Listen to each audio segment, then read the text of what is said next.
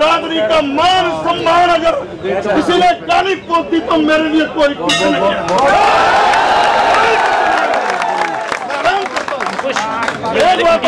इस आंदोलन को उन्हीं लोगों के हाथ में देना, ये लड़ाई लंबी चलेगी। ये लड़ाई लंबी चलने वाली है। रुको भाई, रुको। ये लड़ाई राष्ट्रीय स्तर पर गुजर स्वाभिमान से ये लड़ाई जुड़ गई है।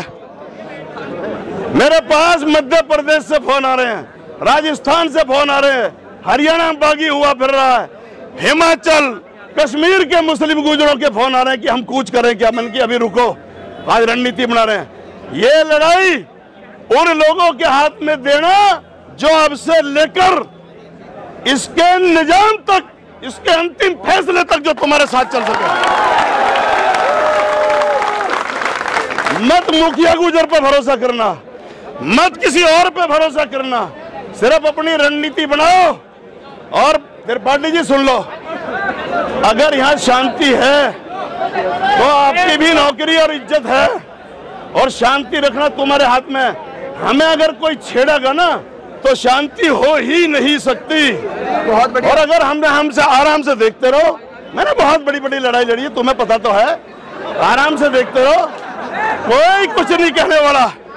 ये वो वीर रणबाकरों की बिरादरी है, जिन्होंने दूसरों के लिए कुर्बानी दी है, तुमसे कोई क्या कह करके खुश हो जाएगा? इसलिए तुम उनसे इन अधिकारियों को भगाओ, सिर्फ़ आप अकेले बहुत हो। गुजर ब्राह्मण का सम्मान करता त्रिपाठी ना लिखा होता, तुमसे लिपट लिए होते अब तक तो। तुम अपने ऊपर ज़िम्मेदारी ले लो, हम हम कह रहे हैं। इन्हें भगाओ सबको यहाँ से ये डरा रहे हैं। अरे यार, कितने पीट दिए हमने, जो कह जी पुलिस की वर्दी दिखा रहे हैं ये फैसला मैं मुद्दा पेश कर रहा हूँ। मैं प्रस्ताव रख रहा हूँ। पंचायत का मतलब होता है, रविंदर। वकील साहब।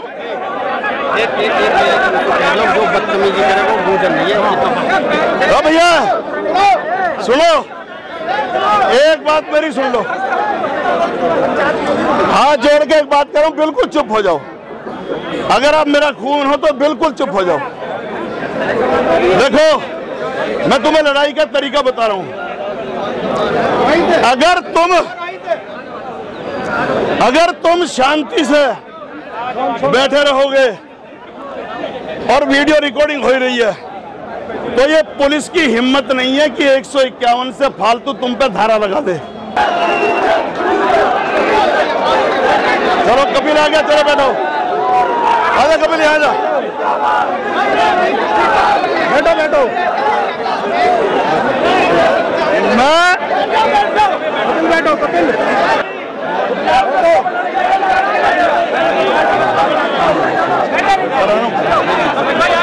मुझे पता तुम्हारे पर मेरे को भरोसा रखो तुम मुझे कौन बुजो कर रहे हो ठीक है मेरी ज़िम्मेदारी है ठीक है लेकिन इन्हें हटा दो चलो ठीक है मेरी ज़िम्मेदारी है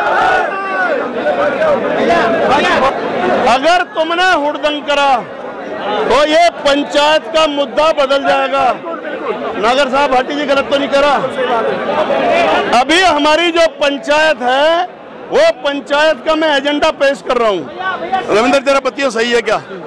ये पंचायत मैं खुलासा करना चाह रहा हूँ। ना तो किसी जाति के खिलाफ है। बोलो हाथ उठा के सही है? ना प्रशासन के खिलाफ है। ये पंचायत शासन और हमारे स्थानीय नेता विधायक और एमपी राज्यसभा के खिलाफ है। जिसने जिसने मान्य मेरे मुख्यमंत्री ने मेरी बिरादरी पर काली पुतवा दी।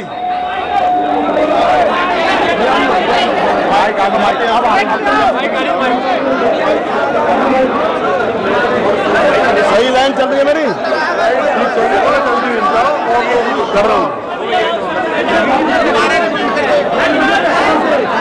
भाइयों ये लड़ाई सिर्फ़ इस बात की है और आज पंचायत इस बात की है मैं प्रस्ताव रख रहा हूँ।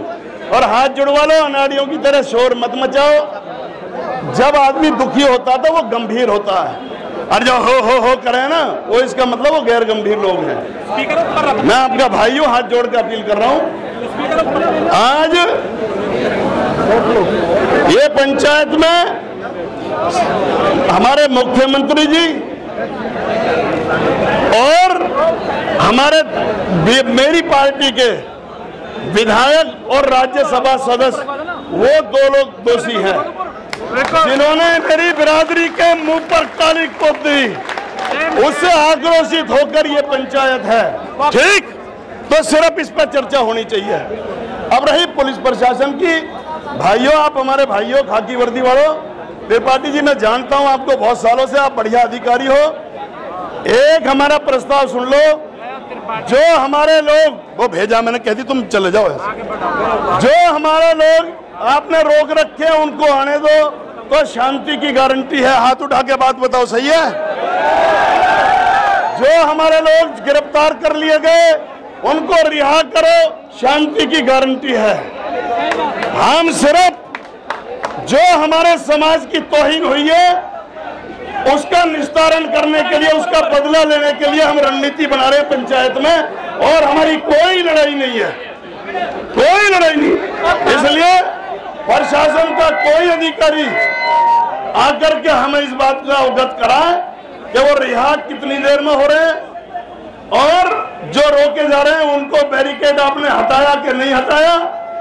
वरना उसके बाद ये पंचायत भी फिर रणनीति बनाएगी कि हम अपने लोगों को कैसे रिहा कराएँ। अब एक कानून पक्ष लास्ट बात लास्ट खत्म कर रहा हूँ। एक कानूनी पक्ष। अगर आपने हिंसा करी, इस टाइम प्रशासन यही चाह रहा है कि तुम में से कोई नौ सीखिया बच्चे पुलिस से भिड़ जाए। और आगजनी हो जाए दंगा हो जाए तो फिर क्या होगा, वो दिशा बदल जाएगी लड़ाई की। और तुम पे उस बहाने से, क्योंकि मैंने सोलह बार जेल काट चुका, अब तक समाज की लड़ाई में। पाकिस्तान बॉर्डर तक जेल काट गया हूँ। इसलिए मुझे इन चीज़ों का पता है। इस खबर को अगर आप फेसबुक पर देख रहे हैं तो हमारे फेसबुक पेज को लाइक और फॉलो ज़रूर कीजिए। और अगर आप यूट्यूब पर देख रहे हैं तो हमारे चैनल को यूट्यूब पर जाकर अभी सब्सक्राइब कीजिए।